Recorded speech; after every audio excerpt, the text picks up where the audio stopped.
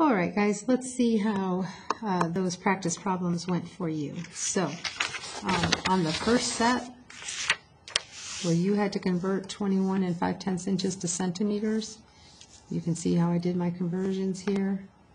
Um, I multiplied 21 and 5 tenths inches by 2.54 centimeters over 1 inch, and my answer was 5 and 61 hundredths centimeters.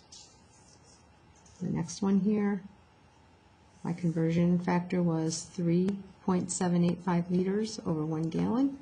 And when I did that multiplication, I got 19.0007 liters. Next one, my conversion factor was 1.609 kilometers over 1 mile. When I multiplied that out, I got 2.974 kilometers.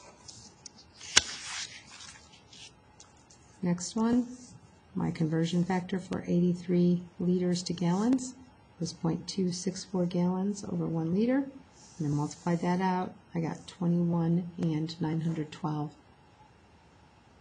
thousandths gallons. Next one, 9 and 66 hundredths. My conversion factor was 62 hundredths miles over 1 kilometer.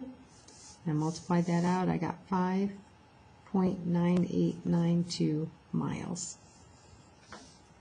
And down here, 1 and 13 hundredths kilograms converted to pounds. My conversion factor was 2 and 2 tenths pounds over 1 kilogram. And I multiplied that out, I got 2 and 486 thousandths pounds. All right, over here, 5 and 6 tenths meters converted to inches. My conversion factor was 39.37 inches is 1 meter.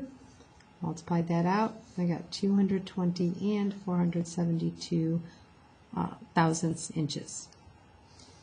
This is the one we did. I just put in the word meters so that you wouldn't confuse that with miles.